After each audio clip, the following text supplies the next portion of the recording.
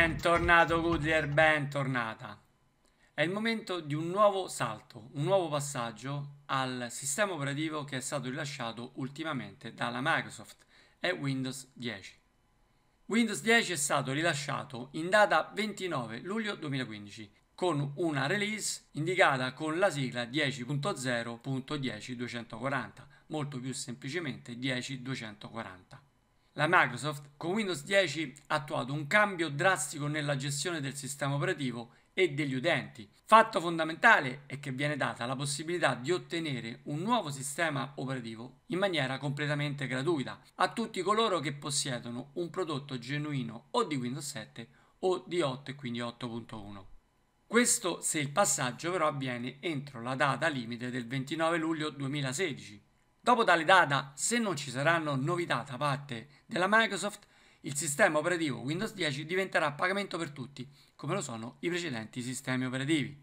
Un'occasione quindi da non lasciarsi scappare, in quanto la copia sarà nostra vita, in teoria, a meno di un cambio drastico dell'hardware oppure di un guasto del PC, in quanto il prodotto è strettamente collegato alla configurazione hardware. In secondo luogo, questo sistema operativo sembra che la Microsoft lo intenda come un servizio e non come un semplice sistema operativo. Lo vuole uniformare a tutti i dispositivi in funzionalità e aggiornamenti. Infatti le varie versioni, le varie edizioni per le standard, non per sviluppatori naturalmente, non avranno la possibilità di bloccare gli aggiornamenti, quelli che normalmente si eseguono con Windows Update. Solo per alcune edizioni potranno rinviare tali aggiornamenti ma non impedire la loro installazione. Per un discorso di sicurezza va più che bene naturalmente, in quanto la base per la fornitura di un servizio efficace e ragionevolmente sicuro per l'utente finale, quindi per noi, è proprio mantenere il sistema operativo aggiornato. Di contro però, per mia esperienza, ho visto che l'impossibilità di gestire gli aggiornamenti porta a dover subire installazioni anche di aggiornamenti, quindi upgrade per programmi che non utilizziamo. Se alla cieca lasci che tutti gli aggiornamenti vengano eseguiti tramite Windows Update senza filtrarli, quindi senza spuntarli, avrai installato anche programmi che normalmente non utilizzi, come può essere ad esempio Outlook se non lo utilizzi sul tuo sistema operativo o Internet Explorer se non utilizzi questo browser e così per tutti i software rilasciati dalla Microsoft e in particolar modo per il pacchetto Office. Proprio per queste situazioni non vorremmo in seguito vedere eccessivamente appesantito il sistema operativo trasformandolo in un software molto lento.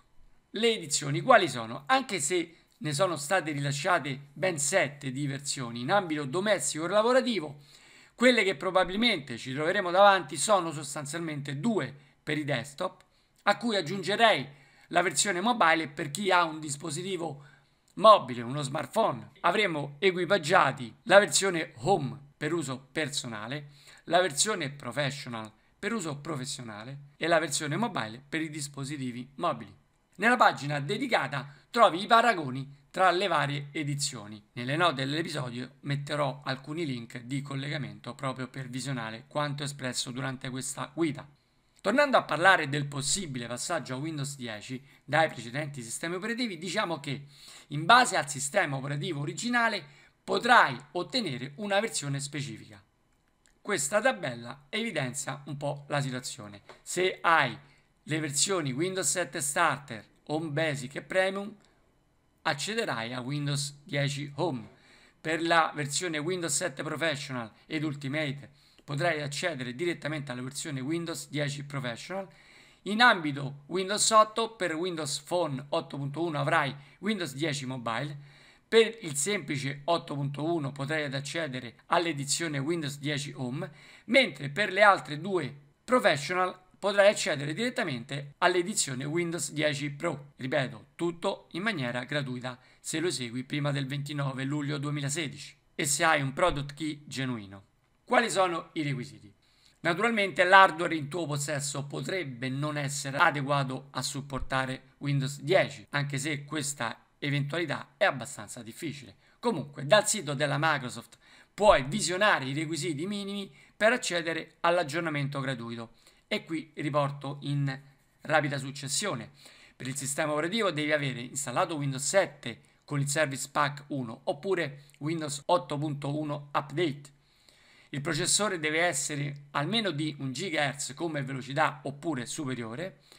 Devi avere un quantitativo di RAM di 1 GB per i sistemi a 32, mentre se hai un 64 bit devi ovviamente avere almeno 2 GB di RAM.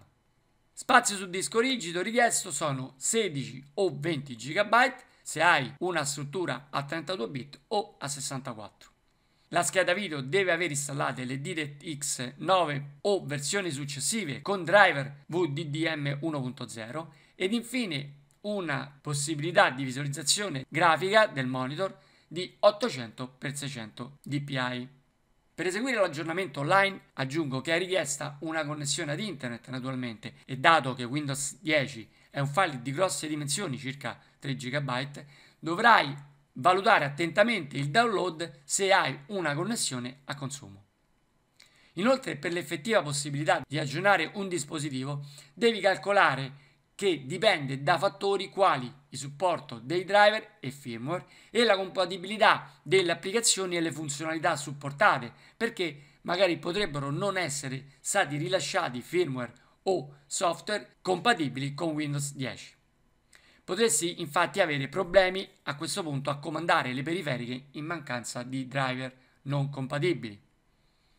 Per i programmi installati, anche se sussiste tale possibilità, mi sento di dire di non preoccuparti più di tanto. A meno di un software particolare non dovresti avere problemi a trovare l'ultima versione adeguata e compatibile per Windows 10. Alcune funzionalità di Windows 10 per poter essere utilizzate necessitano di un account Microsoft e quindi con il sistema operativo avviato in questa modalità e non con un account in locale, questo per conoscenza. La release rilasciata a luglio 2015 è stata già aggiornata ad una nuova denominata 1511 o come sigla di release 10586. Il rilascio è avvenuto il 12 novembre del 2015, quindi attualmente installerai, se già non l'hai fatto, questa ultima versione. Quali sono le novità principali? Se possedevi una versione di Windows con Media Center, verrà rimossa in fase di aggiornamento, in fase di passaggio. Dalla pagina di presentazione puoi comunque visionare le principali novità che apporterà Windows 10. Innanzitutto diciamo che troverai un mix tra Windows 7 e 8.1 con il ritorno del pulsante Start che avvierà una schermata che presenterà un insieme di piastrelle stile 8.1. Vengono introdotti i desktop virtuali per la precisione 4, ossia dei desktop che puoi affiancare uno all'altro in maniera virtuale per la gestione e la separazione di eventuali programmi che avrai avviato e magari suddiviso per tipologie. Ciò per migliorare la gestione degli stessi ed evitare di avere molte finestre aperte su un solo desktop con un numero di icone e programmi aperti. Il browser è stato completamente rinnovato e non si chiama più Internet Explorer ma Microsoft Edge è nuovo in funzionalità e con una notevole e piacevole esperienza di utilizzo.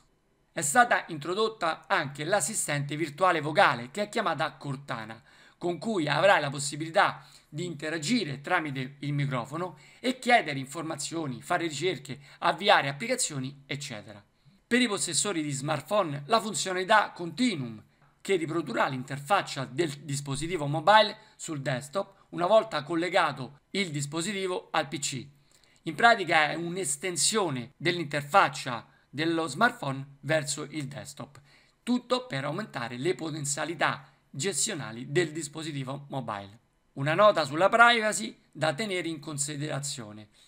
Con Windows 10 e nelle sue impostazioni si potrebbe inviare nei server della Microsoft ogni operazione che eseguiamo con il PC e dal PC.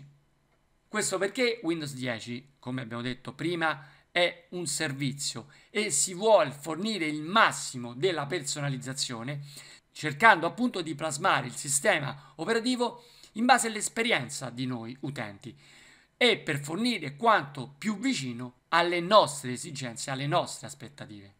Per far ciò, naturalmente, il sistema operativo e di fatto la Microsoft deve sapere tutto di noi.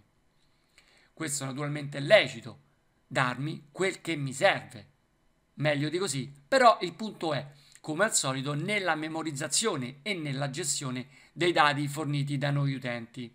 Nessuno può darci la sicurezza se non la fiducia che noi rilasciamo ai detentori dei nostri dati che essi vengano impiegati sempre e solo in maniera adeguata. Quindi tutto si basa sulla nostra fiducia verso la Microsoft. Scritto questo, a momento debito vedremo come gestire le impostazioni in Windows 10 per poter impostare i settaggi migliori alle tue esigenze per quel che riguarda la privacy e per quel che riguarda i dati da fornire alla Microsoft. Se vuoi saperne di più, la Microsoft comunque dedica una pagina a queste informazioni e alla loro politica nella gestione dei dati sensibili.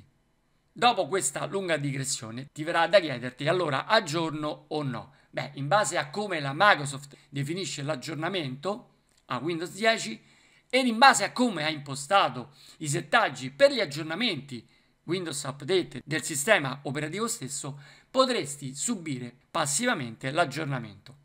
Questo perché molti sistemi operativi, senza che l'utente se ne renda conto, hanno impostato come settaggio predefinito quello di installare tutti gli aggiornamenti disponibili, senza che noi utenti potremmo esserne a conoscenza. Quindi un po' di attenzione, perché questo tipo di impostazione può comportare l'avvio dell'aggiornamento a Windows 10 in maniera automatica. Niente di che, è possibile sempre metterci mano entro un certo periodo di tempo ad aggiornamento avvenuto. Però per evitare ciò è meglio impostare la verifica degli aggiornamenti in maniera automatica in Windows Update, ma lascerei la selezione manuale nella scelta del software da installare, così per tenere traccia di ciò che va ad installarsi sul computer. Al di là di questa nota a margine, per sfruttare la possibilità di avere un sistema operativo a vita in maniera gratuita, direi senz'altro di sì ma è necessario valutare alcune cose, come quella appena definita. Devi anche verificare la disponibilità, come già accennato, dei driver e dei programmi che utilizzi per rilevare eventuali incompatibilità, ma in questo l'aggiornamento già c'è d'aiuto perché eseguirà una sua diagnosi. Quando esegui l'aggiornamento e dopo aver attivato Windows 10, di fatto acquisisci la licenza che ti porterai sempre dietro. Infatti all'atto dell'attivazione verrà associato alla macchina un codice univoco definito diritto digitale, dando per scontata la condizione di avere un prodotto genuino. Nel sistema operativo verranno creati dei file che permarranno per un mese dall'attivazione e ti permetteranno di ritornare facilmente alla versione precedente se non ti piacesse o qualcosa non dovesse funzionare. Questi file verranno rimossi automaticamente alla scadenza e se volessi tornare alla vecchia versione, dopo tale data non ti resterà che attingere ad eventuali backup di file immagine da te creati in precedenza o partizioni di ripristino create dal costruttore del PC, altrimenti una bella formattazione con installazione pulita. Resta il fatto che, comunque, avendo attivato Windows 10, avrai acquisito per quello specifico hardware il codice per una licenza gratuita per Windows 10, anche se lo reinstallerai tra anni formattando il disco rigido. È importante sottolineare che l'installazione o l'aggiornamento a Windows 10 garantisce l'acquisizione del codice univoco a vita solo dopo aver verificato l'effettiva attivazione di Windows 10 e naturalmente provenendo da Windows 7 Service Pack 1 o Windows 8.1 Update genuini ed attivati. Considerato questo, si aggiunge un altro sì. Se non l'hai fatto ancora, creati quindi un file immagine di scorta. Per mia considerazione, le novità vanno sempre testate e dato che comunque non si differenzia poi così tanto dai vecchi sistemi operativi, almeno per le funzionalità base, altra nota positiva che mi fa suggerire di passare a Windows 10. Certo, non saranno tutte rose e fiori, naturalmente, come tutti i sistemi operativi, ma alla fine un definitivo sì alla migrazione per me è scontato. Qual è il modo di operare? Deciso per il sì, magari anche su invito mio, cosa dovrei fare? Già detto, esegui tutti gli aggiornamenti necessari tramite Windows Update all'improvviso, seguendo questi aggiornamenti, potessi trovarti nella SysTray il suggerimento del passaggio a Windows 10. Ti notifica che per questa tua configurazione potrebbe essere possibile l'aggiornamento. Se non arriva non ti preoccupare, nelle prossime lezioni imparerai come aggiornare o installare il sistema operativo. Intanto preparati nel ragionare su come migrare, in che modo. Potrai decidere se eseguire l'aggiornamento mantenendo tutte le impostazioni, tutti i programmi e i tuoi file, oppure mantenere qualcosa di quanto è già presente nel sistema operativo o addirittura rimuovere tutto eseguendo una formattazione e quindi un'installazione pulita, cosa che io promuovo sempre. Se non volessi però procedere a una rimozione completa, dai un po' di pulizia per non mantenere troppe scorie anche con il nuovo sistema operativo. Termino a questo punto indicandoti la pagina dove sono presenti degli emulatori per scoprire le funzionalità di Windows 10, link che riporterò nelle note dell'episodio. Nella prossima lezione cominceremo a vedere l'avvicinamento a Windows 10, in particolar modo come creare un supporto di installazione per Windows 10. Ora un forte saluto, ciao a presto da Gallo e alla prossima!